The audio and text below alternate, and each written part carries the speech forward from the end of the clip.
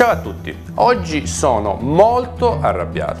Siamo al quarto piano del, del, Palazzo dei Gruppi Parlamentari alla Camera dei Deputati. Passando per il terzo piano, il piano del PD, ho notato che la loro sala dove si riuniscono è intitolata a Berlinguer. Vi rendete conto? Berlinguer parlava di questione morale, ora vi racconto cosa è successo. 1994, l'unità SPA, il giornale dei PDS, oggi PD, va in liquidazione. Dal 1998 al 2000 iniziano a indebitarsi sempre di più, nonostante tutto ricevevano fondi e andavano in debito per più di 5 milioni di euro.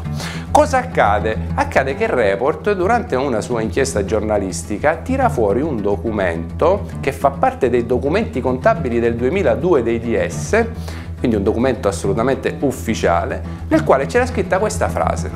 Si richiede un intervento politico per trasferire il debito del partito allo Stato. Quindi queste persone chiedevano un intervento alla politica per non pagare i propri debiti.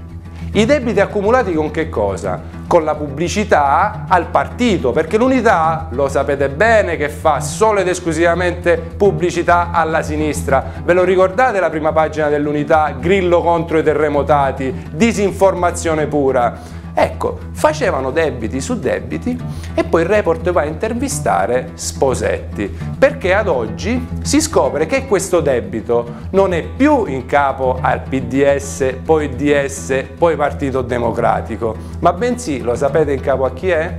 Alla Presidenza del Consiglio dei Ministri. Quindi in capo a voi, in capo a noi, in capo a tutti i cittadini italiani. Perché?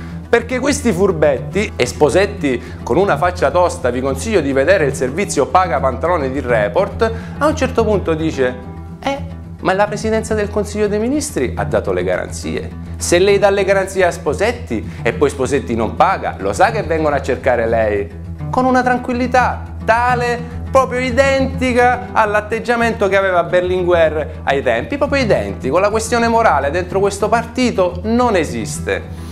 Le banche cosa fanno? Giustamente chiedono alla Presidenza del Consiglio dei Ministri mi scusi Presidenza, noi abbiamo 100 milioni di debito perché poi non hanno più pagato le rate. La Presidenza del Consiglio cosa risponde? Ma perché non aggredite i beni immobili del partito? Ma sapete cosa hanno fatto? Hanno preso i beni immobili del partito, che valgono quasi 500 milioni di euro, hanno costruito delle società ad hoc rispettando la legge perché ci sono delle norme che permettevano questa, di, di, fare questa azione, tra, hanno trasferito questi immobili in capo ad una fondazione, poi a una società immobiliare e oggi la Presidenza del Consiglio, nonostante il partito abbia degli immobili stornati ad altre società, non li può aggredire. E in più la storia si infittisce ancora, perché a un certo punto Bersani, con l'unità in crisi, chiama un certo imprenditore, Mian, che a quanto pare ha milioni e milioni di euro derivanti da uno scudo fiscale e gli chiede un aiuto facendolo diventare socio di maggioranza nell'unità, versando 9 milioni di euro. Questa persona aveva la società alle Bahamas, non dico niente, e alla telefonata dice potete venire, mandami qualcuno qua Bersani altra cosa molto strana.